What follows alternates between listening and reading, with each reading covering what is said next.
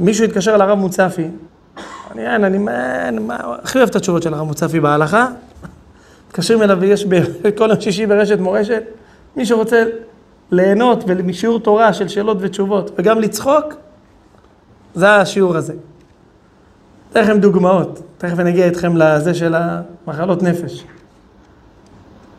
התקשרה אליו מישהי, אמרה לו, כבוד הרב, אמרו לי שזה תמונה של איזה צדיק, שמים את זה, מבריח את העכברים, מה הרב אומר? אמר לה, אני אגיד לך את האמת, שמתי את התמונה, באו לי עכברים. עכשיו, באמת יש תמונה כזאת, של אותו צדיק, אבל אתם יודעים מה מספרים? זה רב שהיה רב גדול, צדיק באמת. רק הרב הזה, מה היה? בא אליו, הרב הוא היה ראש העיר, הוא היה יועץ, הוא הכל הרב היה, בזמנם. באו, דפקו לו בדלת, האישה אמרה לו, הרב יש לי עכברים בבית, מה אני אעשה? עכשיו הרב, אתה יודע, אומרים שהוא, אתה יודע, צחק, מה, מה יגיד לה, מה אני, מה אני מדביר? אז הוא אמר לה, שימי את התמונה שלי, הם יברחו. אתה יודע, כאילו, אני אפחיד אותם, שימי, שימי את התמונה שלי, הם יברחו. היא, בתמימות שלה, אמרה הרב אמר, הרב אמר, הלכה לקחה את התמונה, הלכה שמה בבית, באמת נעלמו העכברים. זה לא שזה לא נכון. אבל הרב הוציא את זה מהפה שלו, כאילו, צ... הרב יש לי עכברים בבית, נו, אז אתה יודע, שים את התמונה. הרבנים, רבנים האמיתיים כזה, אתה... יש להם לפעמים מילתא דבדיחותא, צוחקים, אומרים לך כזה משהו, נו. אתה יודע, באים לך עם איזה שאלה כזאת, הרב יש לי עכברים, הרב יש לי סתימה בביוב, מה אני עושה? אתה יודע, שואלים. אני אומר לכם, לפעמים בקבוצות של ההוראה, יש שאלות כאלה. שהשאלות, אה, יש לנו נזילה בזה, מה זה אומר? זה אומר שיש לכם פיצוץ בצינור בתוך הקיר. עכשיו, מה אני אגיד להם? עכשיו, הם מחפשים משהו לבדוק במזוזות. אתה יודע, כאילו... עכשיו, אשריהם ישראל באמונה שלהם, אשריהם ואשרי חלקם, נכנס שלום, לא מזלזל. אבל אנחנו, אתם יודעים, היום אנחנו כל כך מסובכים בעבירות, שמי יכול להצביע על מה? זה אומר הגאון מווינה שזה היה רק כשהיה לנו נביא. רק נביא יכול להגיד לך מה הבעיה, מה הפתרון. התקשר אליו מישהו אחד, אמר לו, כבוד הרב, הרב ייתן לי סגולה לפרנסה, מצב קשה וזה. אמר לו, יש סגולה בדוקה ומנוסה, צא לעבוד. כן, זה התשובות שלו. זה, זה רציונל, אתם יודעים מה זה רציונליות? בלי דמיונות, עכשיו זה... רציונל. מצב, לפעמים הקדוש ברוך הוא חונק את הבן אדם, צא, אתה צריך לעבוד, אין מה לעשות. צריך לפרנס משפחה. אז מישהו התקשר אליו מישהי, אמר לו הרב, הרב ייתן לנו סגולה, משהו לחרדות. אה. הרב אמר, גם, יש סגולה בדוקה ומנוסה. הלכו לפסיכולוג. כן, לפעמים צריך, מה לעשות, לרפות את הנפש. לפעמים אדם סוחב על עצמו כל מיני משקעים, והוא לא מצליח להתרומם. היום הציבור החרדי, תדעו, נלחם בתופעה הזאת, ואני כל כך בעד הדבר הזה, אתם יודעים למה? כי יש איזה סטיגמה כזה, כאילו, מה, חולה נפש, מה, פסיכיה? תגידו לי. זה הרב פירר, שמעתי אותו, הוא אומר ככה. הוא אומר, אדם שיש לו דלקת גרון, והולך לרופא, אנחנו מסתכלים עליו בעין מוזרה, מה, מה הלכת, דלקת גרון? לא, זה נראה לנו שיש לו דלקת גרון, הלך טיפל. אדם יש לו אפנדצית, עומד דלקת, עומד להתפוצץ לו בבטן, הלך לעשה ניתוח. מסתכלים עליו, וואי, מה עשית אפנדצית? איזה בן אדם מוזר אתה? אף אחד לא מדבר ככה.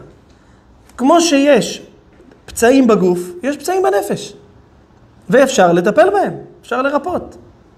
תבינו שאדם מסטיגמות ומפחדים מה יגידו, הוא יכול לסבול כל החיים שלו. כל החיים הוא יהיה בסבל וחרדות, ומה יגידו. ויכול להיות פתרון פשוט. פתרון פשוט. יום אחד ישבתי בכולל, מישהו החליט להיפתח אליי. הוא סוחב חמש שנים כאבי ראש. בומים, בומים בראש, כאבי ראש. אמרתי לו, מה קרה? איך זה התחיל? אז הוא אומר לי שלפני חמש שנים, הוא התחיל, הוא עמד מול המראה והוא התחיל לשים לב שנהיה לו נשירה. עכשיו, עברו חמש שנים כבר נהיה לו קצת קרחת בראש, והדבר הזה הכניס אותו לחרדות. הוא הרגיש שהוא חרד מהדבר הזה, וזה התחיל ליצור לו מציאות מלחץ שהתחיל לו כאבי ראש. כמו פטישים בראש, הוא רק, הוא רק חושב על זה, רק זה בום בום. חמש שנים. הוא בקושי נרדם בלילות, סובל איסורים. אמרתי לו, לצורך ה... זה, בוא נגיד, אולי קוראים לו אליהו, סתם, נגיד. אני אומר לו, אליהו, תקשיב. זה לא אליהו, אבל אתה, שיהיה... אמרתי לו, תקשיב, אני אל ת... אל ת... כאילו, אל תהיה תיעלב, אתה באת, לי, נפתחת לי אליי, נכון? אמרתי לו, אני הולך לפסיכיאטר. אז הוא צחק. אמרתי לו, בוא, תן לי רק להסביר לך איך זה עובד. תבינו, חז"ל אומרים נפש בריאה בגוף בריא. איך זה עובד? איך זה עובד הדבר הזה? למה שבן אדם נכנס ללחץ, הרבה אנשים נכנסים ללחץ ומקבל בחילות. מה הקשר? לחץ זה רוחני, זה בנפש, בחילות זה בגוף. הוא יכול להגיע להקאות, הוא יקיא. אנשים מלחץ, מחרדה יכולים להקיא. אבל למה? זה נפש, הנפש בלחץ, איך הגוף מקיא? מה מופרש? יש, הרי מה ההבדל בין פסיכולוג לפסיכיאטר? שפסיכולוג לא נותן תרופות, פסיכיאטר נותן תרופות. ולימודים קצת יותר ארוכים. מה התרופות האלה בעצם עושים? לבן אדם נוצר בנפש שלו קונוטציות, בעצם כל מיני התניות, שהוא יודע שבמצב הזה הוא נכנס ללחץ או שהוא נמצא בחרדות, מתחיל להיות מופרש במערכת העצבית שלו חומרים כימיים מסוימים שגורמים להפרשות של כל מיני הורמונים וחומרים בגוף, שגורמים לו להרגיש רע. מה עושה הפסיכיאטר בעצם? הוא לוקח את אותם חומרים כימיים עם כדור אחד, צריך לפעמים, צריך קצת לאזן, כאילו מה שנקרא למצוא את המינון או למצוא בדיוק את מה שמתאים, אז לא להיבהל, והוא פשוט שם על זה ברקס. זה משהו, זה, זה הולך ויושב לבן אדם ברצפטורים שלו, בין הסינפסות של התא, של, של התא עצב, ושאתה נכנס, כשאדם נכנס ללחץ בנפש, הגוף לא מגיב. הוא נכנס ללחץ, אין בחילות, אין חרדות, אין כלום, כלום. למה? כי אין את ההפרשה של החומרים. מה שם ברקס על ההפרשה של החומרים? הכדור שהוא לקח. מה קרה? למה שיש דלקת גרון אפשר להשתמש עם זה ושזה מגיע לנפש אי אפשר? למה לסבול? למה בן אדם גוזר על עצמו סבל? הסברתי לו את זה לפרוטרוט קצת יותר ארוך, אנחנו כבר בסיום, בסיום של השיעור. ואז הוא אמר לי, מה, ועכשיו כל החיים אני אהיה עם זה? אמרתי לו, תקשיב, אני מסברה עניתי לו, אבל זה בדיוק מה שהיה. אמרתי לו, תראה, בגלל שאתה סוחב איזה חמש שנים, יכול להיות שהטיפול שלך יהיה קצת יותר ארוך כדי לצאת מזה. אבל את לא, זה לא לכל החיים. זה עד שאתה, זה כמו גלגלי עזר. הרי בן אדם נכנס ללופ, ברגע שהוא נכנס לחרדות, הוא כבר בלופ, הוא כבר נמצא בסיבוב כזה. הוא כל פעם מגיע לאותן סיטואציות, זה מעורר לו את זה, ואז עוד פעם, יאללה, בחילות, יאללה. הולך, שם ברקס על הדבר, מגיע לאותן סיטואציות, מתחיל קצת, הלחץ מתחיל, אבל הגוף מגיב סבבה. הוא מרגיש טוב, בריא, הכל. וואלה, פתאום הוא מרגיש שהוא יכול. נכון, הכדור עושה את זה, אבל... ואז עובר חודש, חודשיים, חצי שנה, הוא ממשיך. שנה, ואז מה קורה לאט לאט?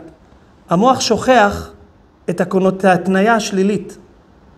ואז לאט לאט מתחילים להוריד לו את הגלגלי עזר, ואז הוא מגיע לאותן סיטואציות והוא בסדר גמור. למה? כי הוא כבר התרגל תקופה שזה לא קורה. היהודי הזה, תקשיבו טוב עד היום שהוא רואה אותי, הוא עובר כביש, אני אומר לכם, מחבק אותי, מנשק אותי, אומר לי, הצלת לי את החיים. הוא היום בלי זה, הוא אומר לי, תקשיב, אני חי, יש, אני חמש שנים הייתי, לא חייתי. תבינו, היה חמש שנים עם כאבי ראש כמעט 24 שעות. עכשיו שתבינו, בלי השיחה הזאת, הוא יכל כל החיים שלו לסבול.